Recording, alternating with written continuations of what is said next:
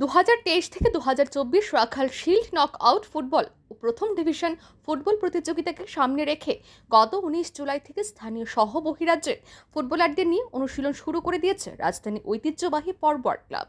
গত বছর Rakhal shield knock out প্রতিযোগিতার রানার্স হওয়া দলটি। এবছর চ্যাম্পিয়ন হওয়ার লক্ষ্য নিয়ে মাঠে নামবে বলে জানান ক্লাব সম্পাদক Partha Sarathi Gupta. Rakhal shield knock out ও প্রথম ডিভিশন লিগের জন্য ইতিমধ্যেই মণিপুর থেকে নয়জন ও মিজোরাম থেকে একজন ফুটবলার ফরওয়ার্ডের শিবিরে এসে অনুশীলন শুরু করে দিয়েছে। দলের কোচ সুভাষ বোসের তত্ত্বাবধানে প্রতিদিন নিয়ম করে স্থানীয় ফুটবলার ও বহিরাজ্যের ফুটবলাররা উমাকান্ত মিনি স্টেডিয়ামে জোর কদমে অনুশীলন চালিয়ে যাচ্ছে। বৃহস্পতিবার এক সাক্ষাৎকারে ক্লাব সম্পাদক জানান, নক আউট ও লিগের জন্য ফুটবলাররা ফরওয়ার্ডের শিবিরে যোগ দিয়েছে। লিগের কথা মাথায় রেখে প্রয়োজনে আরও কয়েকজন ফুটবলার বহিরাজ্য থেকে আনা হতে পারে। আগামী ষোলোই আগস্ট লালবাহাদুর ব্যায়ামাগারের সাথে Rakhal shield knock out football প্রতিযোগিতার প্রথম ম্যাচ খেলতে নামবে ফরওয়ার্ড ক্লাব। আমরা দুই হাজার তেইশ চব্বিশ নকআউট এবং লিগ ফুটবলের জন্য আমরা দল গঠন করেছি।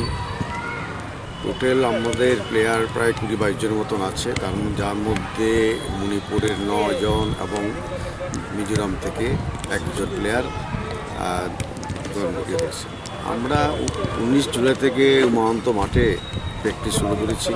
আমাদের কোচ সুভাষ বোস ওনার হাতে আমরা পুরা দলটা ওনার হাতে সঁপে দিয়েছি। আমরা এবার আশা রাখছি নকআউট এবং লিগ লিগ দুটোই আমরা জয়ী হব বিমুখ জয়ের লক্ষ্যে আমরা এগো- এগো- এগোচ্ছি। আমাদের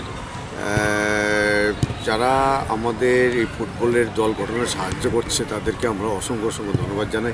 কারণ তাদের সাহায্য ছাড়া এত বড় দল গঠন করা সম্ভব না। প্রায় বাইশ লক্ষ টাকার মতো আমাদের বাজেট গত বছর আপনারা ছিলেন শিল্ড রানার্স তো এবার গতবারে শিল্ডে রানার্স হয়েছি। এবারও আমরা আশা করব আশা রাখছি এবং এবার চ্যাম্পিয়ন হব। লিগও আমরা চ্যাম্পিয়নের জন্য আমরা দল গঠন করেছি।